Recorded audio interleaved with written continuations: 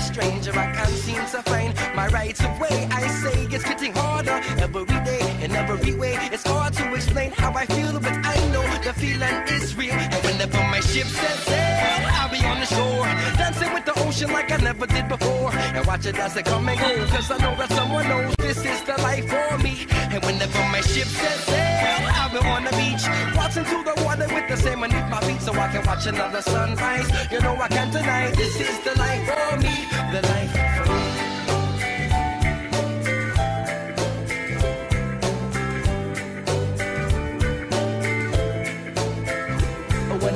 ship sets sail, the water be my daughter. Take it all away, leave me waiting for the slaughter. After the fact is that this is my habitat, this is the life for me. And wherever the water runs deep, you are not alone. Look up in the sky, let the stars take you home. After the fact is that this life is where it's at, this is the life for me. Yeah. I'm giving into all the pain and pressure, and uh, everybody out there coming to get you, I never let them come and take my soul away. I say it's getting harder every day, in every way. It's hard to explain how I feel, but I know the feeling is real.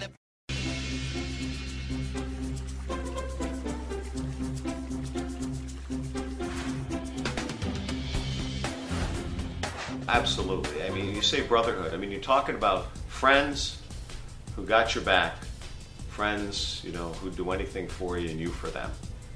If you're in a time of need, you know, when you're when you're sick in the hospital, when you're in debt, when you're in trouble, who are you going to look to for help? For me, it's my prep friends, and they've always been there for me, and I for them. And like I say, it's been over 40 years now, and we're still tight.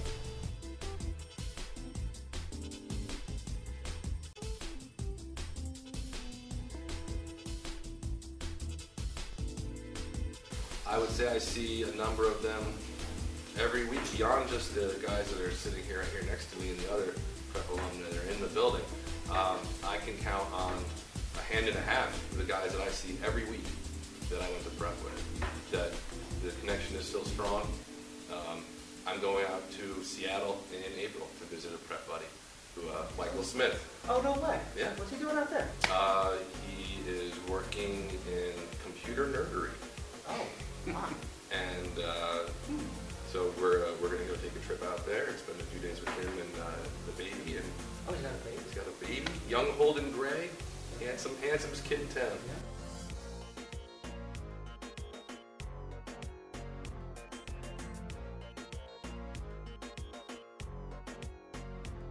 I got involved in a lot of things, and that I think is the key. You know, I got involved in clubs. I would go to the games. You know, get in the bomb squad, um, and I think those experiences, you know, going to clubs and, and pursuing things with people who had, who had similar interests to me, going to the bomb squad and just you know being a part of, of that that frenzy during uh, during these great moments that you know we can experience with prep sports. That to me really solidified those bonds with other students and uh, you know created that sense of brotherhood that you know I've I've taken with me forever. Uh, you know I'm still uh, I'm still good friends with uh, some good friends I made during that period of time.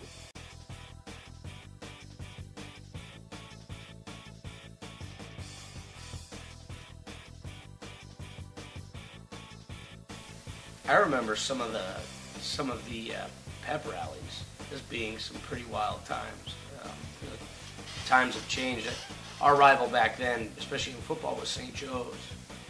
And every year we, you know, we'd have the St. St. Joe's game, and there'd be a pep rally. And I remember, I think it was my senior year, playing St. Joe's.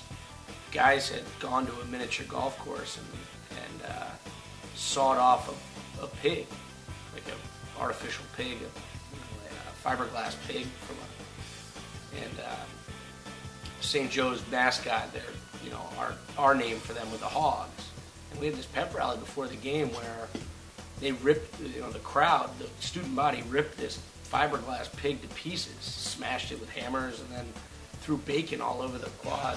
I remember that day. It was a little, little odd. Yeah, there was yeah, definitely that day, and you know we, we definitely had some great prep, pep rallies out in the uh, out in the quad and the student body out there, just, just basically, you know, raising hell and and uh, you know, again, you know, you know, really, really good, genuine fun during the school day.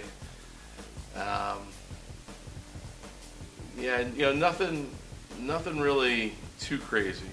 Uh, uh, the one event that I can think of from my senior year does revolve around our rivalry with St. Joe's, but I don't care to share the rest of that story. I somehow got abandoned and uh, had to run like two miles through the woods in order to get back home. But that was uh, a story for another day.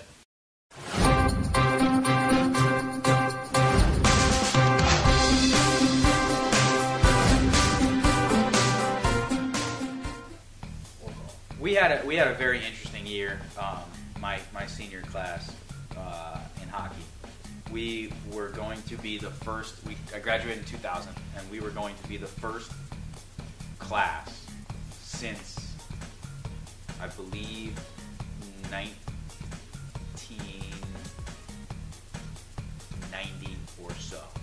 First class in 10 or more years that to walk through prep to spend four years at Fairfield Prep. Actually, it would have had to be like eight or something. It had to have been closer to 20 years. Um, we we didn't win a state championship my freshman, sophomore, junior year. And we were going to be the first class in, in that long, 20 or so years, to, to not get a state championship.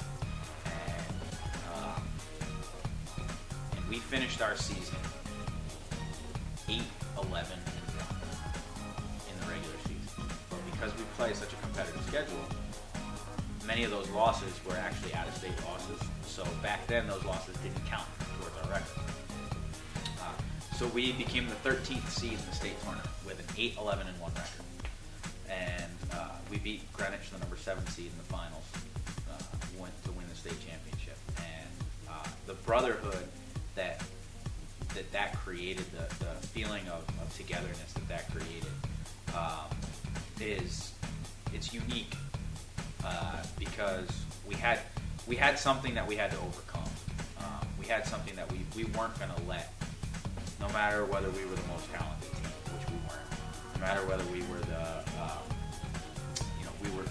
we were not the best team, uh, best group of hockey players. We, we definitely were the best team, and that brought us together.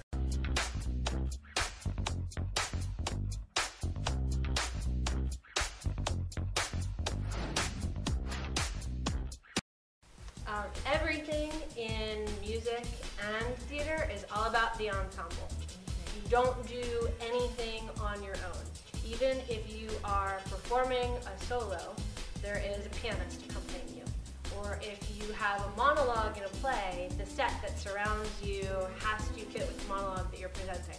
You cannot do these arts without a sense of brotherhood. My, my boys clean the room together. And they stack, they stack the chairs together and they, they put stuff away together.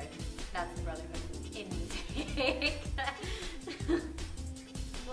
lot of them are doing music and theater in middle school, so when they come to prep, it's a common experience. It's not like, you know, when you play piano in middle school, well, the piano is still the piano when you come to Fairfield Prep. So it's not like taking on a totally new subject.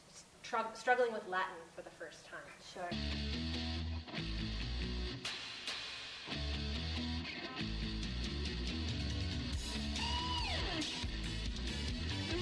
Beverly Hills 90210. Beverly Hills 90210. It was totally like Beverly Hills 90210. My favorite. Beverly Hills 90210. I remember, I remember watching 90210, the original. not the one. Dylan, my favorite character. He was so cute. I can't believe he and Brenda broke up. I was so upset when they broke up. But that was my favorite show. Luke Perry was like the hottest thing on earth, and um, it was a story about uh, high school aged students, which I was around the same time anyway, so it was sort of my age range I was tapping into. Um, it was taking place in Beverly Hills, which seemed completely on the other side of the world, even though it's on the other side of the United States. Um, the California was something for me that just seemed glamorous and beautiful and amazing. So these students had a total alternative lifestyle that I never had. They had opportunities I never had. They drove cars I never had. It was just sort of like a dream fantasy world. And they had such amazing drama and such great love connections and stuff that I wasn't experiencing in my life.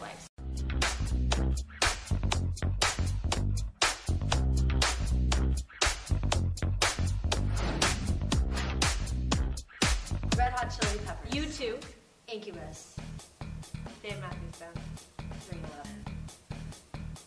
Yeah. Dave Matthews Band? Oh, yeah. Dave Matthews Band? Dave Matthews Band has just come out when I was a sophomore in high school. When I was in high school, people were listening to the Beach Boys. Uh, that was pretty hot, uh, especially the slow songs, uh, you know, dancing with your girlfriend at the party and so on. I think Matthews was big. I know that was a big concert to go to. Except we didn't call him Dave, we called him DMB. Yeah. Definitely Madonna.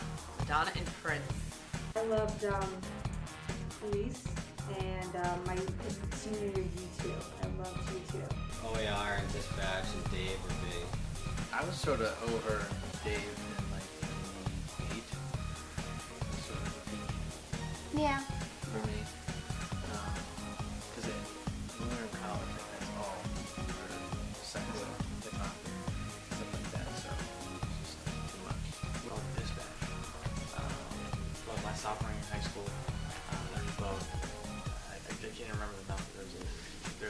In Boston.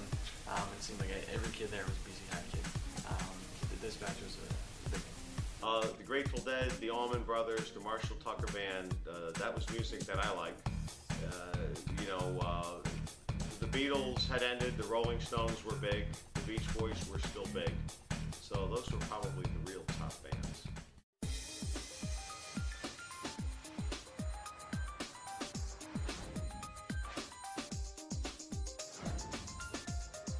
Absolutely not.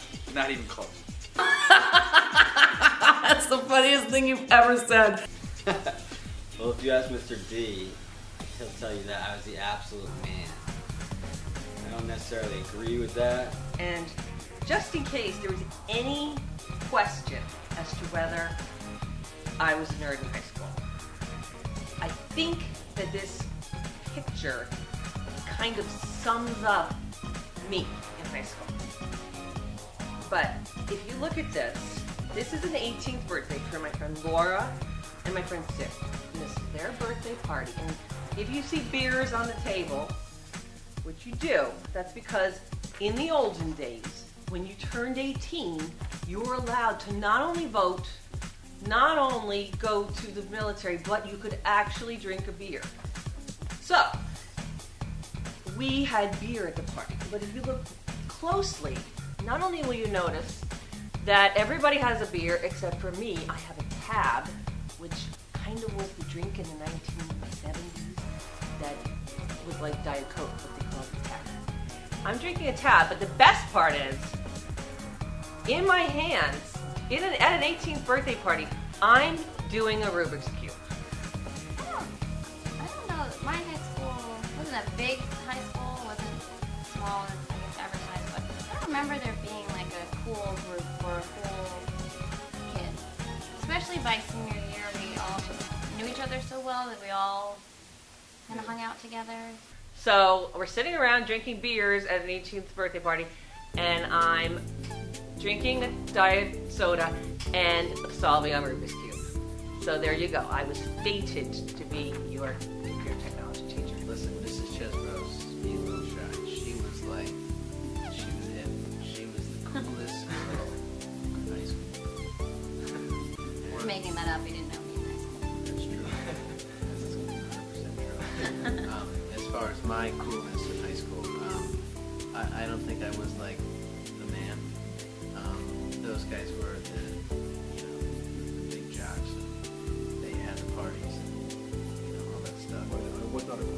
Although I did wind up dating a cheerleader who was one of the cool kids.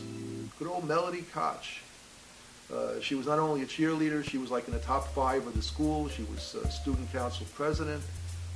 And I started hanging around with her. and uh, that brought me into a in- into contact with a lot of uh, uh, of the, uh, the leaders of the school. I'd say I was the quiet kid.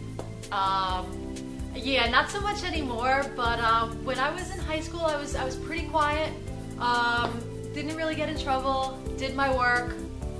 Wasn't necessarily an overachiever. Um, was a bit lazy, but was just kind of pretty normal, pretty middle of the road. I was a pack. I was a part of a pack of eight girls, so we were kind of a the somewhat cool girls. We were the in-between girls. Yeah, I'd have to say so. Uh, I probably didn't realize it at the time, though. Would have helped me with girls.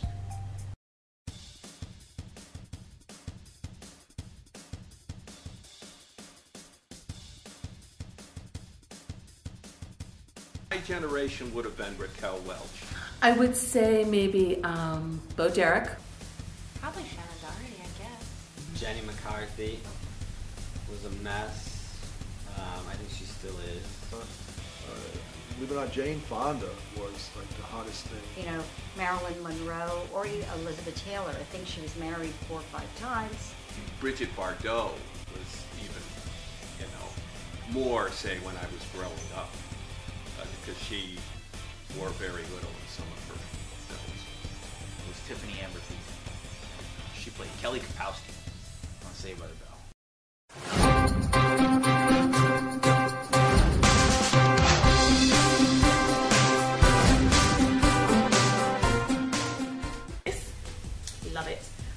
Country, um, volleyball, gymnastics. I was a cheerleader. I don't like to admit to that now, but I was. I was a cheerleader all through high school. Um, I was in the pep club, which we just we made signs for games and tried to, you know, or for pep rallies, to kind of advertise what was going on at the school. I, I played football all four years and was captain my senior year. I was on the track team all four years. I threw the shot put and the discus. Wait, you were in the pen club? Yeah. Signs for games. Well, I was in high school. I played um, softball in my town for the town league my freshman and sophomore year, um, but I didn't play for school. Um, it was this. My school was about 25, 30 minutes away from my house, and I didn't always have a ride, so I had to take the bus. So it was hard for me to get involved with any sports after school because of the timing. of the African American Cultural Club. In my high school, we had a huge um, West Indian population, so I was a part of the West Indian Social Club. And believe it or not, I was a part of the drama club. I did volleyball, indoor track, tennis. I was the, ba- the basketball manager for a year, and I did FBLA, Future Business Future Business Leaders of America. Um, but I sang in the choir for all four years, and I did the plays my junior and senior year, which was my favorite thing. I was actually, believe it or not, in the Student Library Association, Student Library Club. Go figure now, it makes sense, right?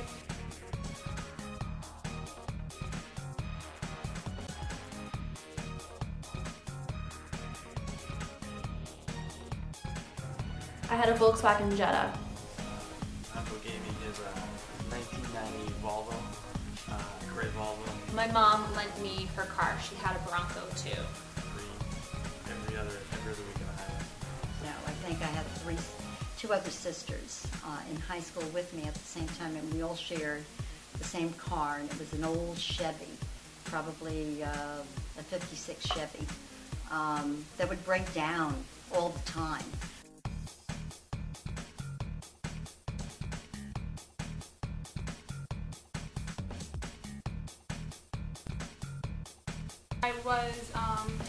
16 and I, it was the year I got my license and I was driving around at night with my friends. We were going out um, and I got pulled over by what we thought were cops because they had the lights flashing and you know they had badges and so we were really really scared.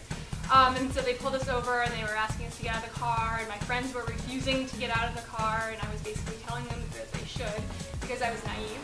Um, but basically, lo and behold, we found out after they let us go that they weren't actually cops. Had to go and have a picture taken.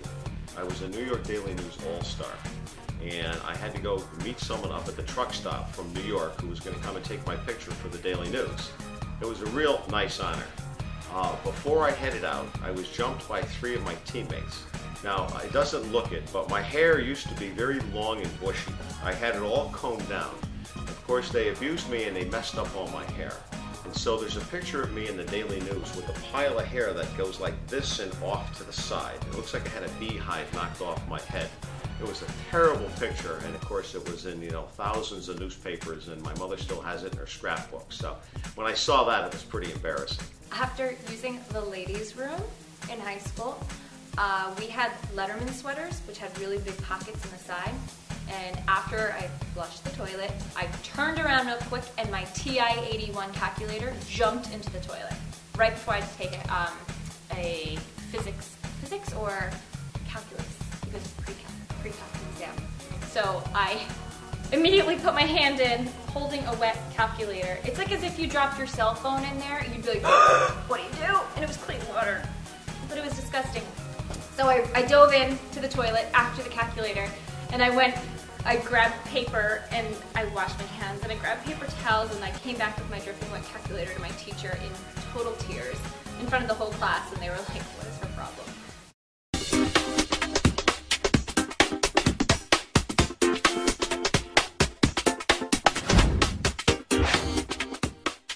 Getting our bathing suits. We're getting our ba- We're... Where's the beach?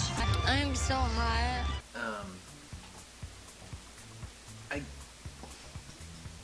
I think we were speechless when we saw it. I've never seen Jersey Shore, but my first thought was, boys, stay away. Stay away from girls like that. Very sad. She needs to be in rehab, I guess, right? Mm-hmm. There's a train wreck. You just can't walk away and not watch it. I think that's a perfect example of what to avoid in your own lives. I mean, I understand she's making money and she's getting attention, but it's at what cost? I mean, I don't know. I don't want to sound like a fuddy dud, but you gotta, you gotta kind of preserve some of your self-respect and I don't. What would I think of Snooki? I think she's an actress paid to be a fool.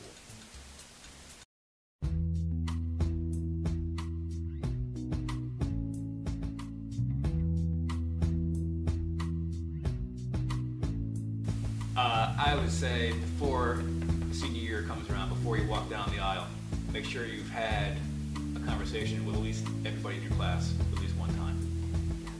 That would be a good way to get to say, you know what, I know my class pretty well, and you never know where you're going to cross these guys again later in life. You'd be surprised where they show up in your life. have fun. I've loved high school. I have so many fond memories. I'm still best friends with some of my friends from high school. um, I think bathing is often underrated. I'd say work hard so that your academics are not a problem. That's number one. Because if they are, I don't think anything really is going to make you really feel good. Um, bathing regularly, uh, bathing often. Get involved as much as you can. Make this this is your school, so make it worthwhile. Go to games, go to plays, go to concerts. Um, you know, support your classmates. Get to know one another.